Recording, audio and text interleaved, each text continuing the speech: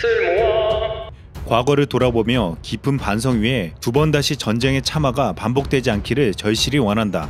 나루이토 일왕이 일본의 종전 기념일인 15일에 한 말입니다.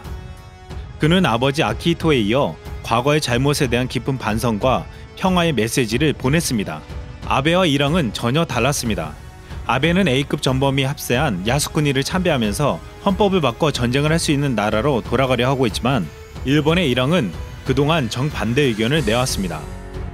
아베는 기념사에서 7년 동안 늘 가해국의 책임은 전혀 언급하지 않았고 전쟁에서 300만여 명의 동포가 목숨을 잃었다며 일본이 피해자라는 점만 강조해 왔습니다.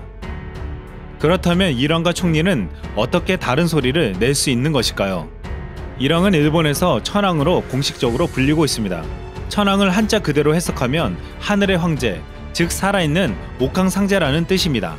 한국에서는 천황이란 말의 의미가 지나치다고 생각해 의도적으로 낮춰 부르는 호칭인 일왕으로 부르고 있습니다. 일본인에게 일왕이란 우리가 상상할 수 없는 존재로 군림하고 있습니다. 일본에서 일왕은 국민통합과 사회적 규범의 중심이며 일왕에 대한 일본 국민의 태도는 한마디로 존경과 사랑입니다.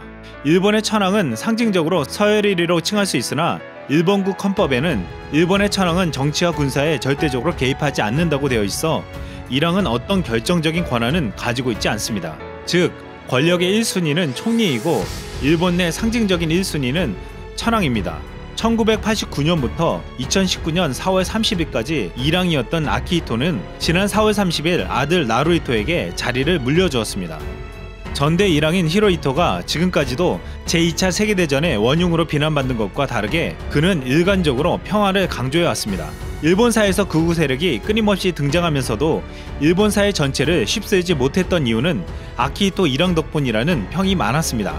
지금까지 극우 성향의 정치인이 총리에 올라도 평화헌법을 함부로 개정하지 못한 이유는 반극우 성향인 아키히토 일왕 때문이었습니다.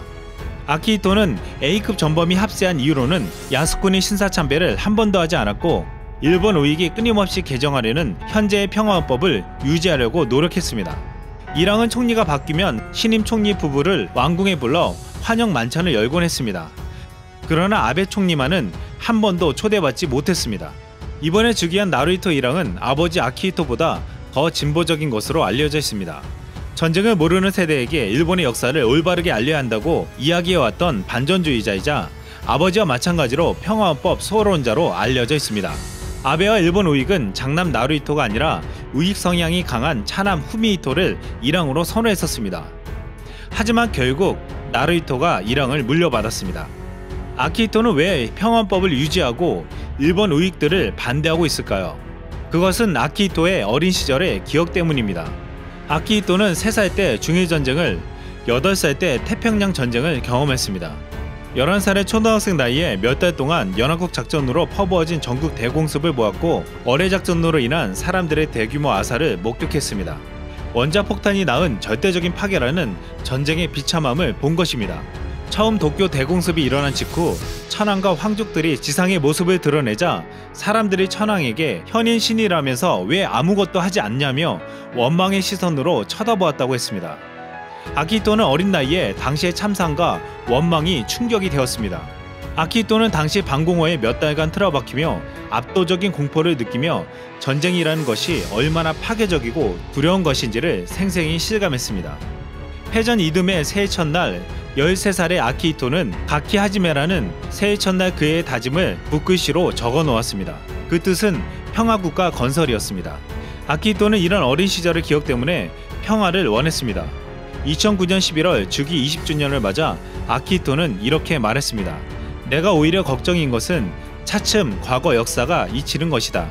전쟁에서 수많은 사람이 목숨을 잃었고 형언할 수 없는 고생과 희생의 바탕 위에 지금의 일본이 세워진 것을 잊어서는 안 된다. 아베에겐 아키히토는 눈에 가시 같은 존재였습니다. 아베는 아키히토 일왕이 파킨슨 병으로 투병하고 있다는 소식이 전해진 후 얼마 안 있어 일본 여당의 지지를 통해 집단적 자위권인 안보 법안을 통과시킨 바 있습니다. 지난 4월 일왕의 퇴위식에서 아베 총리의 한자 참사도 일어났습니다. 아베 총리는 국민을 대표해 일왕과 왕비에게 감사의 뜻을 전했는데 마지막 문장이 이랬습니다. 천황, 황후 두 폐하께서 오래도록 건강히 지내시기를 바라지 않습니다. 이런 실수가 일어난 이유는 한자 때문이라고 했지만 아베의 실수에 진정한 속내가 나온 것은 아닌지 의심받았습니다. 아베는 이번에 야스쿠니를 참배하지는 않았지만 다시 공문을 보냈습니다. 벌써 7년째입니다. 차세대 총리 후보인 고이즈미 신지로 자민당 중의원 의원은 야스쿠니 신사에 가서 참배했습니다. 우익 성향의 일본 의원들도 야스쿠니 신사를 집단 참배했습니다. 이랑의 깊은 반성과 평화는 그들에겐 없었습니다.